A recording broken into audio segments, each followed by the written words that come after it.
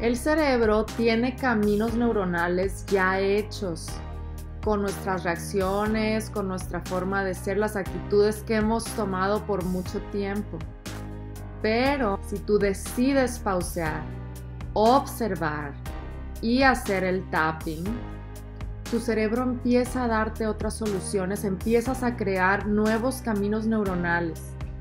¿Sí? Esto se llama neuroplasticidad. Le vas quitando fuerza a los otros caminos neuronales diciéndole cómo sí te quieres sentir. En este video voy a dar 5 consejos de inteligencia emocional y tapping para ayudarte a lograrlo. Pensar antes de actuar. Soy Cristi del Rincón, licenciada en estudios humanísticos y también EFT coach. Mis mentores son Craig Weiner y Alina Frank y les quiero dar consejos para aprender a controlar nuestras emociones. Número 1 decidir observar cuando llega la emoción y hacer una pausa. ¿Por qué decidir? Porque es una decisión. Cuando ves que viene la emoción, decides observar que viene, respirar profundo, hacerle un tapping. Ya que hagas la pausa, hazle un tapping, detecta en qué parte de tu cuerpo se localiza la emoción, que exactamente qué aspecto o qué evento está causando esta emoción y le das un número del 0 al 10, siendo 0 completamente relajado, siendo 10 súper estresante. Ya que tienes tu número, haces el proceso del tapping, a pesar de que tengo esta emoción en esta parte de mi cuerpo, gracias a que sucedió este evento, o por este aspecto del evento, yo me acepto completa y profundamente, o cualquiera que sea tu frase inicial. Eh, después nos venimos arriba, este, esta emoción en esta parte de mi cuerpo, esta emoción en esta parte de mi cuerpo, al lado de los ojos, esta emoción en esta parte de mi cuerpo, esta emoción en esta parte de mi cuerpo, esta emoción en esta parte de mi cuerpo, esta emoción en esta parte de mi cuerpo, abajo de la clavícula, los cuatro dedos y al lado del brazo.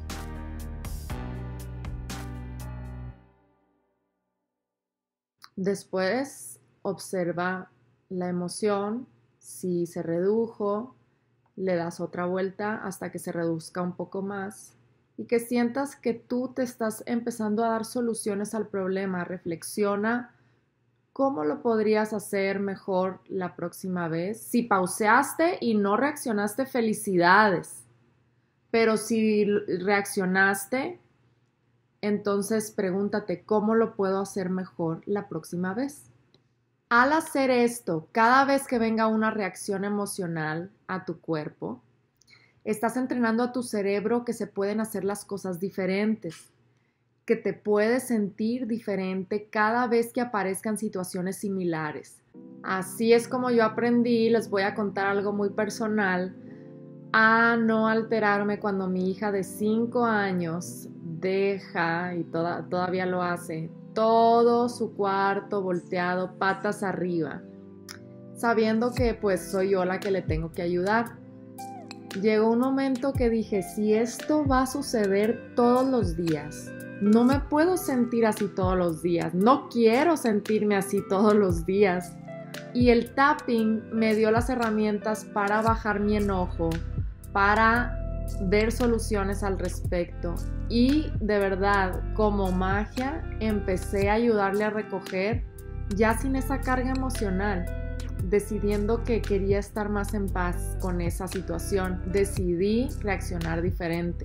Aunque me cuesta, todavía a veces tengo que respirar profundo y decirme a mí misma las soluciones que yo me di, pensar tiene cinco años, está pequeña, estamos pasando por la pandemia, todas esas cosas que hacen que tengas un poco más de compasión, ¿no? Que a veces cuando estás en la reacción realmente no estás pensando en esas cosas. El cerebro hace miles de años se desarrolló en un ambiente de supervivencia y todavía hoy funcionamos en ese modo de actuar antes de pensar. Algo muy útil en un estilo de vida, de vida o muerte, para correr de un predador.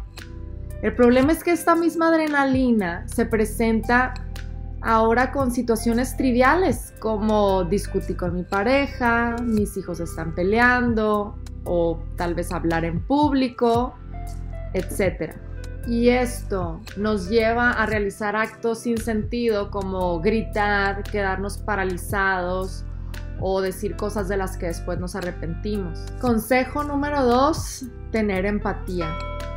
La empatía es la capacidad de intuir lo que otras personas están sintiendo o necesitando. El querer conectar con las personas y poder ver detrás de sus reacciones, sus emociones y sus necesidades. No ver la reacción y reaccionar a esa lucha de ego, sino preguntar, ¿estás enojado? ¿Es por esto? ¿Estás triste? ¿Es por esto?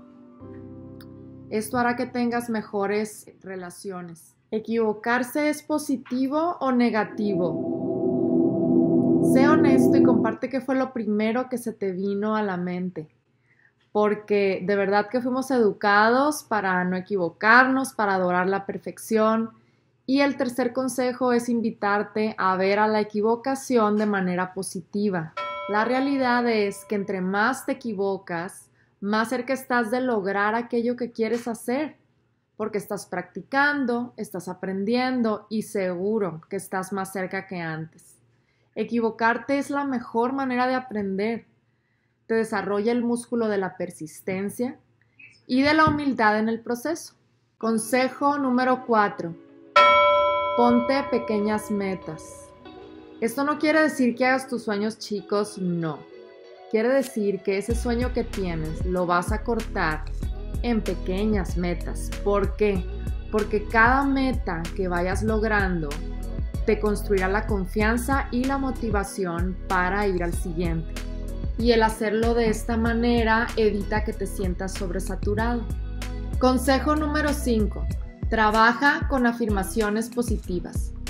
Lo que nos decimos por medio de los pensamientos está directamente relacionado con cómo nos sentimos. Pero algo muy importante, si ustedes echan agua limpia a un traste de agua sucia, se va a quedar sucia, ¿no? Entonces, así pasa con las afirmaciones positivas. Si ustedes están diciendo afirmaciones positivas, pero hay pensamientos limitantes que están bloqueando esa afirmación positiva, no va a entrar.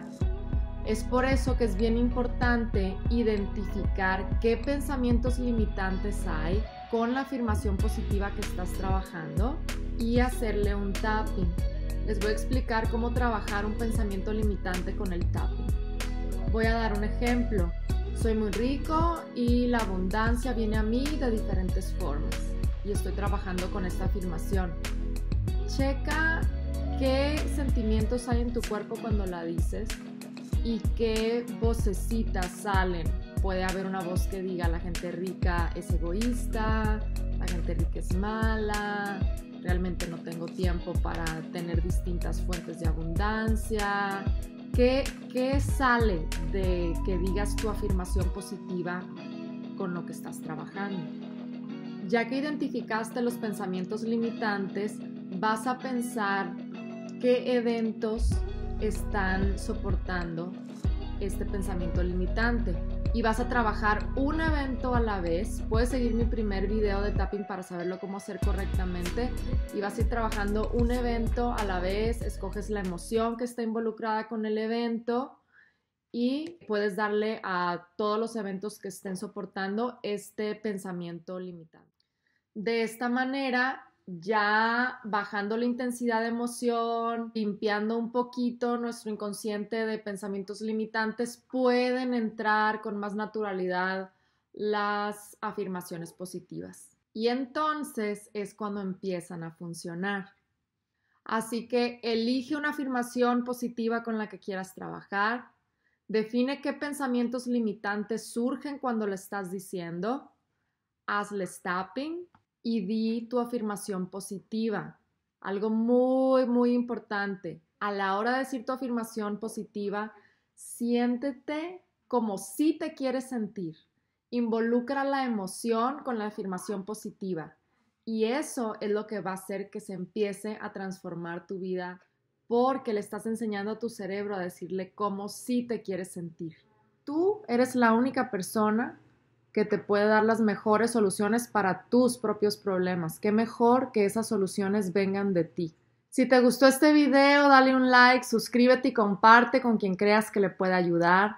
Comenta si te fue útil, qué fue lo que más te llevaste. Espero con muchas ganas tu retroalimentación. Mi siguiente video sobre maternidad consciente. Cada martes estaré subiendo nuevo contenido. Te veo en el siguiente video. Gracias y bonito día.